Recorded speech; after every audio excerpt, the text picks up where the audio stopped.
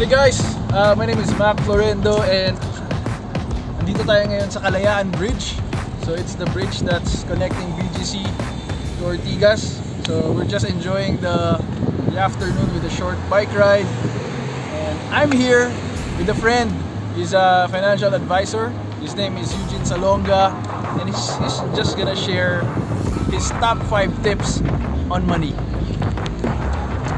in no particular order, no? Number one, invest in your knowledge and skills. Number two, increase your value in the marketplace by learning how to solve problems in this world. Number three, kahit marami ka namang sources of income, pero kung wala ka naman naiipon at the end of the day, poor ka pa rin. Diba?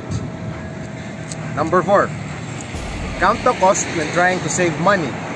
Hindi lahat ng mura sulit.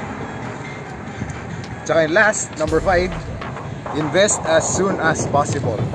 The lowest investment available ngayon, 50 pesos lang, which is Gcash. If you wanna work with me, hanapin nyo sa Facebook, Eugenio Salonga.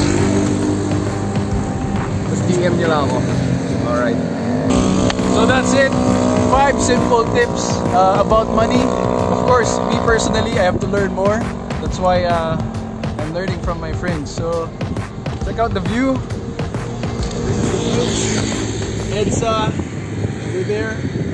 So it's our first time here. It's an easy ride, simple ride. So if you can visit, yeah.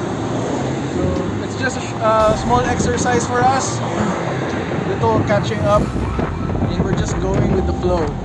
So, if you enjoyed this video, please make sure to uh, like, share, and subscribe to see some more. So that's it, Mac Florendo, and I'll see you next time.